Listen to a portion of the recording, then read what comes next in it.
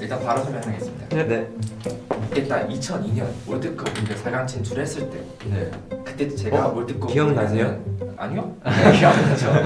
땀. 네,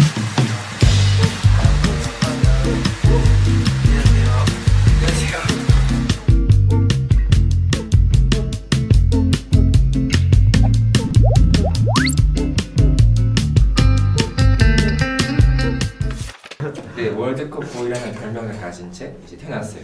네. 이름도 박지성이니까 대박이었죠. 솔직히 10살 때까지는 솔직히 그냥 축구만 했어요. 아무것도 그냥 저 어, 진짜, 진짜? 저 진짜 꿈이 축구 제 선수? 2의 박지성 되려고 했었어요. 오. 근데 이때부터 그냥 아무 생각 없이 놀다가 내 친구들하고 놀다가 그때 친구 있었어요. 그 신기하다. 10살 때부터 10살 때부터 갑자기 동방신기의 이제 선배, 선배님들의 그 오정바다이라는 노래 듣고 아 이거는 진짜 그 노래 매일매일 한 18번 들었어요. 오. 맨날 18번 들었어요.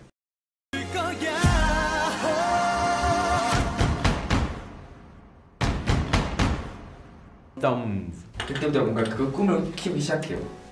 아, 와. 확 키웠구나. 네.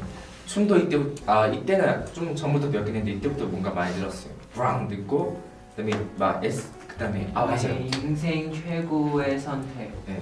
SM 회사 들어가고 들어가고 데뷔. 그렇지 그렇지. 와, 너 글자 진짜 잘 쓴다.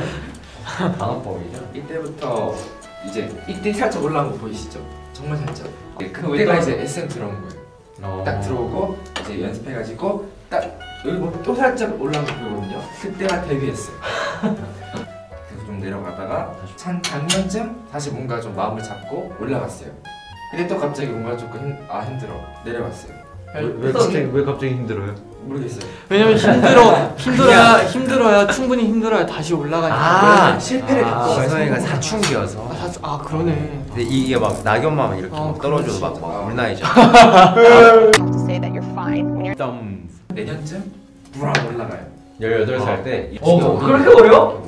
나도 나도 비슷해. 비슷해. 나도 나도 비슷해. 거기서 거기. 스무 살 때 성인 됐을 때 딱 난리 나요. 뻥 뻥.